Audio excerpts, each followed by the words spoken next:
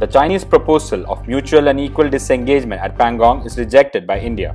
The Chinese side first refused to undertake any further disengagement as they wanted Indian soldiers to also step back by an equal distance. According to the Indian military, this is untenable as this would lead to forsaking our post on the Pangong line of actual control in the area.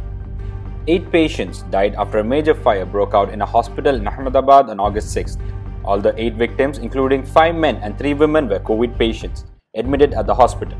According to an official, the patients were treated in the ICU ward at Shrey Hospital. It is reported that 40 other patients were rescued and shifted to another hospital. Uttar Pradesh Chief Minister Yogi Adityanath on August 6 stated that if he ever gets invited to the foundation stone laying ceremony of a masjid, being a yogi, he could not choose to attend it. But as a chief minister, he wouldn't discriminate based on religion. However, he believes that he would not be invited to such ceremonies in the first place. After Sushant's father filed an FIR on July 25th stating that rupees 15 crore was redirected from Sushant's account in one year, the Enforcement Directorate filed a money laundering case against Rhea Chakraborty on July 31st and has asked her to appear before the agency on August 7th. The ED has enlisted a budgetary evasion argument against Rhea to determine whether the transactions were illegal. TV actor Samir Sharma was found hanging from his kitchen ceiling at his residence in Malad on August 5th. The actor was famous for his role in Star Plus channel shows Ye Rishta Hai Pyar Ke and Kahani Ghar Ghar Ki. An accidental death case has been registered with the Malad police and the body has been sent for autopsy. The police suspects that the 44 year old died on August 3rd after looking at the condition of his body. Beirut, the capital city of Lebanon, witnessed two explosions, one after the other, on August 4th, affecting the residents living in the area of 10 kilometers from the site. The blast created seismic waves equivalent to an earthquake of magnitude 3.3.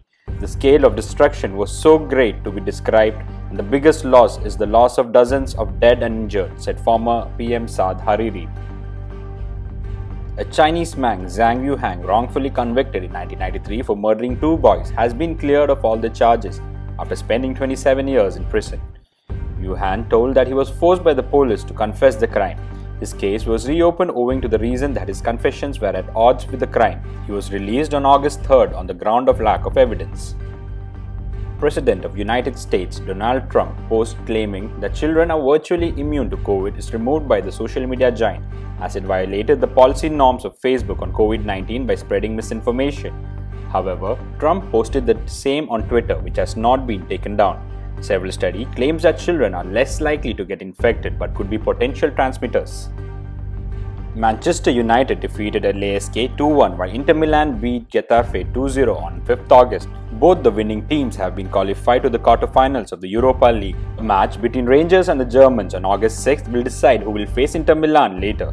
Wolves is set to face Olympiacos and Sevilla to play against Roma in Duisburg on 6th of August.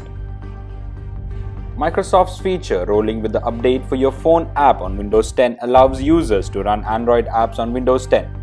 Apps will be launched on the PC in a separate window to interact with applications simultaneously. It is available for tester on Windows 10 Insider Preview Build 20185. Currently, the feature is only available on selected Samsung Galaxy smartphones.